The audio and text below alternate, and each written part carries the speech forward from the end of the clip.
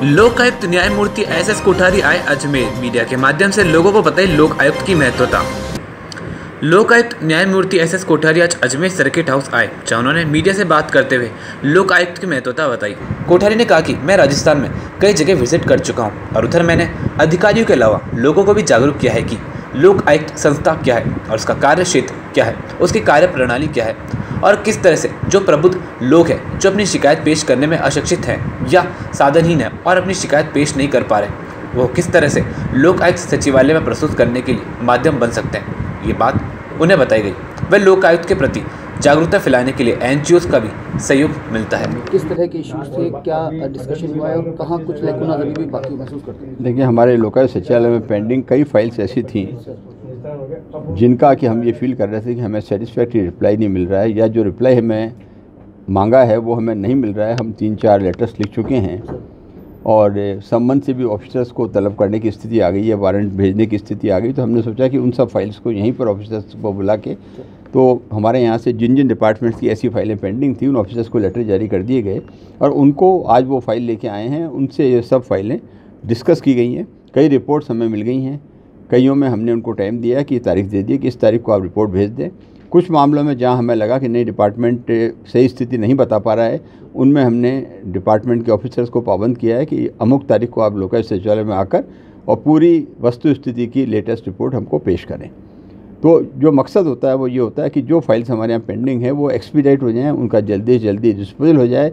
जो कंप्लेनेंट एक कंप्लेंट वाजिब कंप्लेंट हमारे यहाँ लेके आया जेन्युइन कंप्लेंट लेके आया है और हमारे जुडिशन की है उसको रिलीफ मिले, उसकी वाजिब समस्या उसका हल हो, उसी के दिशा में ये जो मीटिंग है वो भी एक प्रयास है। सर ये एक्सपीरियंस हुआ क्या कि जो अफसरान हैं वो कई बार इंटेंशनली भी सही रिप्लाई नहीं दे रहे हैं? तो कुछ स्ट्रिक्ट स्टेप्स भी उठाने की ज़रूरत एक नज़ीर पेश करने के लिए। ऐसे बहुत सारे मामले हैं जहाँ हमने रिपोर्ट से हमें, हमने पाया कि रिपोर्ट सही नहीं है।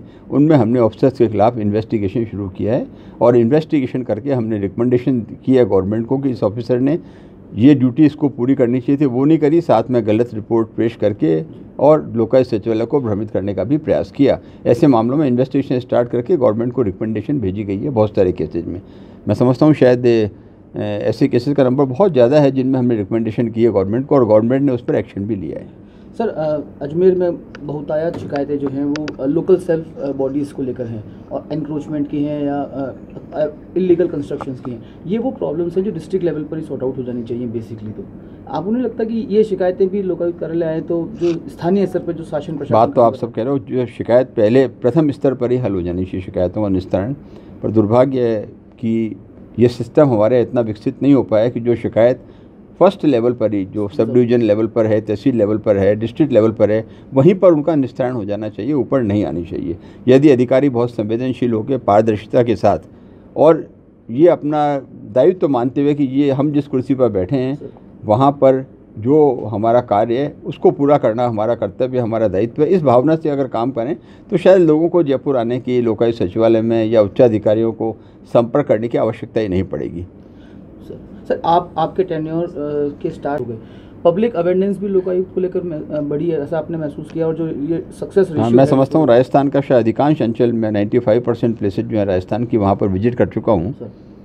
और वहाँ जाके मैंने ऑफिसर्स की मीटिंग के अलावा पब्लिक की मीटिंग भी ली है एन की मीटिंग भी ली है एडवोकेट्स की मीटिंग भी ली है और लोगों को जागरूक किया कि लोकायुक्त संस्था क्या है, उसका अधिकार क्षेत्र क्या है, कार्यप्रणाली क्या है और किस तरह जो प्रबुद्ध वर्ग है, वो ऐसे लोग जिनकी शिकायत, जो अपनी शिकायत पेश करने में अशिक्षित हैं या साधनहीन हैं या समझते नहीं हैं और पेश नहीं कर पा रहे हैं अपनी शिकायत, उनको किस तरह से वो लोकायुक्त सचिवालय में शिकायत प्रस्तुत करने के लिए एक वो अपना माध्यम बन सकते हैं उनको सहायता कर सकते हैं। ये एन को विशेष रूप से हमने कहा है और कई एन ने ऐसा किया भी है लोगों में जागरूकता पैदा करने पर के और वो जो समस्याएँ हैं उन्होंने हमको हम तक पहुंचाई हैं।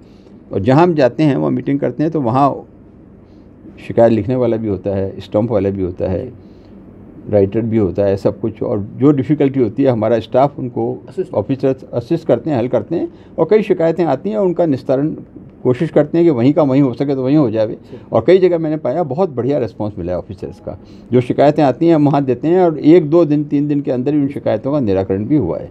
जब कैंप्स करते हैं तब ये स्थिति भी मैंने पाई है और नहीं है तो जो हमारे यहाँ शिकायतें पेश करते हैं तो एक हमने सिस्टम पूरा डेवलप किया हुआ है पूरे सिस्टम को स्ट्रीमलाइन किया हुआ है।